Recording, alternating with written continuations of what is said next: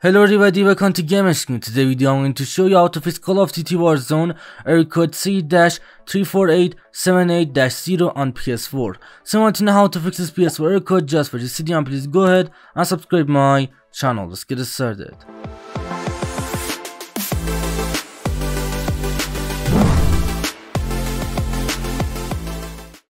Okay guys, for the, first method to fix this error code, first of all, just go to top bar on the PS4 and then scoot to the right and go to the PS4 settings.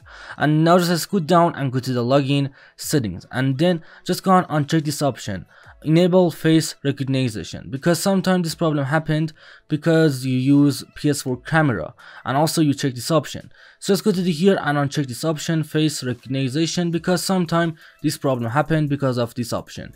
So let's go to the here and uncheck this option. But if you don't work, just go on update your PS4 system software. First of all, just go top on the PS4 and then scoot to the right and go to the PS4 settings. And now just scoot down and go to the system software update just go to this option system software update and now just wait for a few seconds and just update your PS4 system software to the latest version and is the I know to fix Call of Duty Warzone error code C-34878-0. But if it didn't work, just go back to the PS4 settings again and just go to the PS4 settings and then just scoot down and go to the application, save it, data management. And now just go on um, select option number 1 or 2 and just go on save your uh, Warzone data to system storage for example your flash drive or your hard drive.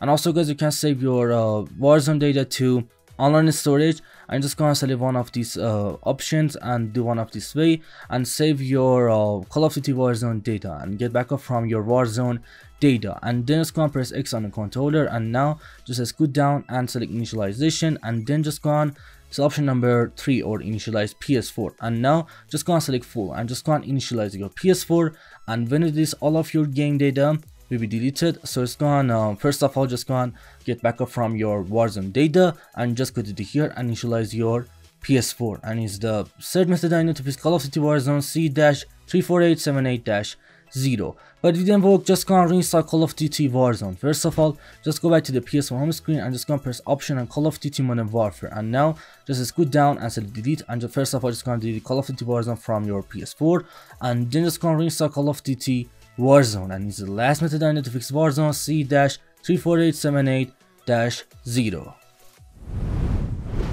Anyway guys, thanks for watching video. I hope this helped to fix Call of Duty Warzone C-34878-0. Please go ahead and drop a like on this video and subscribe my channel. Peace out.